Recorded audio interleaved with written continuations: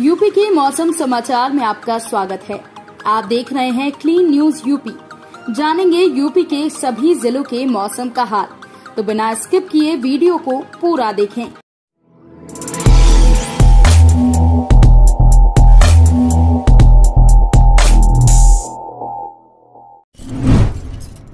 चलिए जानते हैं, आने वाले दिनों में उत्तर प्रदेश में मौसम कैसा रहने वाला है? उत्तर प्रदेश के कौन कौन से इलाके में किस तरीके की सर्दी पड़ने वाली है, क्या कुछ तापमान रहने वाला है और आने वाले दिनों में तापमान में कितना अंतर देखा जाएगा?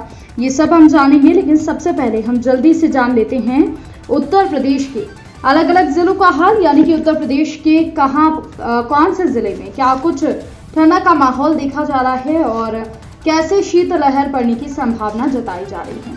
तो आपको बता दें कि उत्तर प्रदेश में मौसम का मिजाज बदलता जा रहा है। नवंबर खत्म होने के साथ सर्दी अपने चरम पर पहुँचना शुरू हो गई है। लगातार तापमान में गिरावट देखी जा रही है और अब कड़कड़ाती ठंड ने भी दस्तक दे दी है।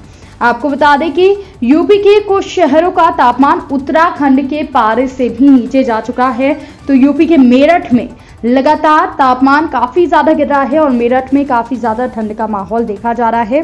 आपको बता दें कि रात के समय यूपी के मेरठ में काफ़ी ज़्यादा तापमान में गिरावट देखी गई है। और साथ ही साथ कई शहरों में शीतलहर शुरू होने की भी संभावना जताई जा रही है।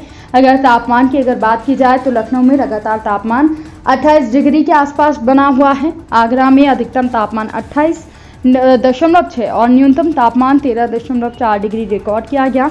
इसके अलावा अलीगढ़ में मैक्सिमम तापमान जो था वो सत्ताईस दशमलव चार और मिनिमम तापमान ग्यारह दशमलव आठ रिकॉर्ड किया गया। बरेली में मैक्सिमम तापमान चौबीस दशमलव छः और मिनिमम तापमान नौ दशमलव तीन। रिकॉर्ड किया गया। इसके अलावा मुजफ्फरनगर की अगर बात की जाए तो यहाँ पर चौबीस दशमलव नौ अधिकतम तापमान और न्यूनतम तापमान सात डिग्री रिकॉर्ड किया गया। इसके अलावा मेरठ में अधिकतम तापमान दो, छब्बीस दशमलव छः तो न्यूनतम तापमान यहाँ पर सात दशमलव छः रिकॉर्ड किया गया। इसके अलावा वाराणसी में अधिकतम तापमान उनतीस डिग्री सेल्सियस और न्यूनतम तापमान नौ दशमलव एक डिग्री सेल्सियस रिकॉर्ड किया गया। तो अगर आंकड़ों पर नज़र डालें तो मेरठ और मुजफ्फरनगर में न्यूनतम तापमान जो है, वो कम बना हुआ है। इसके अलावा मौसम विभाग का कहना है कि यूपी के कई शहरों में शीतलहर होने की संभावना है। जिन शहरों में मौसम विभाग ने शीतलहर और हल्की बारिश होने का अनुमान जताया है, ऐसे में आगरा, कानपुर, लखनऊ, अलीगढ़, वाराणसी और मेरठ इन शहरों में शामिल हैं, जहाँ पर कुछ ही दिनों में शीतलहर का आगाज़ हो सकता है, यानी कि यहाँ पर ठंड काफ़ी तेज़ी से पड़ने की संभावना जो है वो जताई जा रही है। मौसम विभाग का कहना है कि आने वाले दिनों में उत्तर प्रदेश में तेज़ी से मौसम बदलने वाला है और कई राज्यों में काफ़ी ज़्यादा ठंड पड़ेगी और यूपी भी उन्हीं में शामिल है, जहाँ पर आने वाले दिनों में तेज़ कड़कड़ाती ठंड पड़ने के आसार जताए जा रहे हैं। मौसम विभाग का कहना है कि 26 नवंबर से शीतलहर और गलन की संभावना है। कई जिलों में शीतलहर और गलन शुरू हो सकती है 26 नवंबर से। और 27 नवंबर से ठंड काफ़ी ज़्यादा बढ़ जाएगी। इसके पीछे का कारण उत्तर पश्चिमी हवाओं का होना है।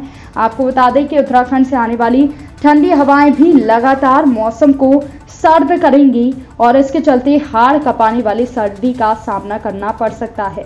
मौसम विभाग का कहना है कि लखनऊ सहित कुछ जगह पर बारिश हो सकती है। और अब नवंबर खत्म होने में पाँच दिन बाकी हैं। दिसंबर का महीना शुरू होने वाला है। ऐसे में ठंड ने अपना असर दिखा दिया है। राजधानी लखनऊ में काफ़ी ज़्यादा ठंड पड़ी। हल्का कोहरा छाया हुआ है गुरुवार सुबह से ही। और यहाँ पर कम तापमान रिकॉर्ड किया गया। अगर सुबह सात बजे के तापमान की अगर बात की जाए तो राजधानी लखनऊ में तेरह डिग्री सेल्सियस तापमान दर्ज किया गया जो कि कम था और साथ ही साथ मौसम विभाग का कहना है कि जलवायु परिवर्तन और अल नीनो के प्रभाव की वजह से पूरे भारत देश का मौसम बदलेगा और उत्तर भारत में काफ़ी ज़्यादा ठंड पड़ने वाली है और यूपी में खास तौर पर इसका असर दिखाई देने वाला है। बाकी सभी जिलों में मौसम पहले की तरह सामान्य रहेगा। हर दिन मौसम से अपडेट रहने के लिए चैनल को सब्सक्राइब करें। साथ ही आप न्यूज़ को कहाँ से देख रहे हैं, हमें कमेंट में ज़रूर बताएँ और एक प्यारा सा लाइक कर दें। धन्यवाद।